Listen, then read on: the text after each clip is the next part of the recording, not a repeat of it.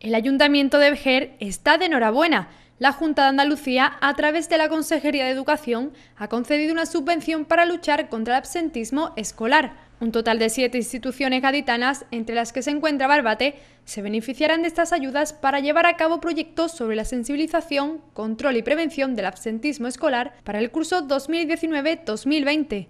Concretamente, el consistorio vejeriego obtendrá una ayuda de 12.000 euros que destinará a programas personalizados para evitar el absentismo, como así lo ha explicado la delegada de Educación, Gema Mena. Son programas también que deben de ir personalizados porque cada absentismo escolar es un alumno, cada alumno tiene un problema, cada alumno tiene detrás una historia y detrás de esa historia es donde hay que trabajar para luchar contra el absentismo escolar. Tenemos que ver con detalle a eh, cada alumno eh, y cada historia, cada entorno familiar, eh, a veces puede ser por un rebeldía de la adolescencia o un asentismo escolar, como puede ser porque haya otro trasfondo.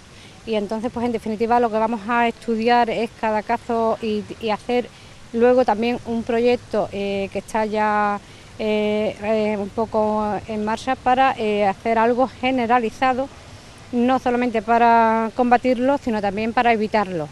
Además, la responsable de Educación ha hablado sobre el nuevo Plan Municipal Educativo que se centrará en el medio ambiente. Hemos presentado el Plan Municipal Educativo, un plan muy completo porque desde aquí tengo que agradecer el trabajo de los técnicos y también de todas las delegaciones de mis compañeros de equipo de gobierno porque este plan educativo lleva todas las delegaciones, deporte, cultura y sobre todo el plato fuerte lo pone medio ambiente.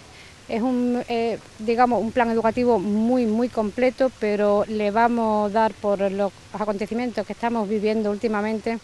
El medio ambiente hay que reforzarlo y ahí vamos a trabajar y este plan, su plato fuerte es el medio ambiente. El Consejo Municipal Escolar también aprobó declarar el 8 de mayo Día No Lectivo Local para unir esta fiesta a la que se celebra el 7 de mayo con motivo del patronazgo de Nuestra Señora de la Oliva.